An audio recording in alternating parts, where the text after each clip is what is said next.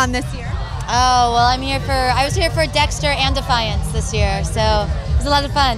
And is this your first time at, at Comic Con? No, I've been coming for probably over 15 years, back in my Buffy and Angel days. And so, you know, from Buffy and Angel to Dexter, now Defiance, I've, I'm an old pro at this stuff.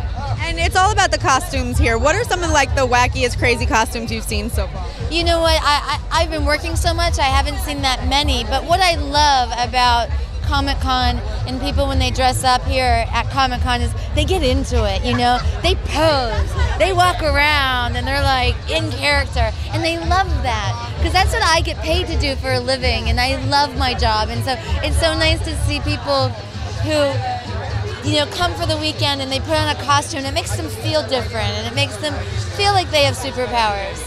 Totally. And then, you know, I know there's so many parties going on tonight. It's Friday night, but what made the Playboy Kick Ass 2 party the party to come to? Um, cause it's kick ass.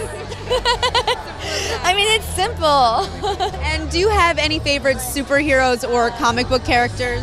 Uh, you know what? I've always been partial to Wonder Woman. I grew up like pretending to be her with the the the bracelets and the lasso of truth and the invisible plane, and like I just thought she was the bee's knees. So. Thank you so much. It was.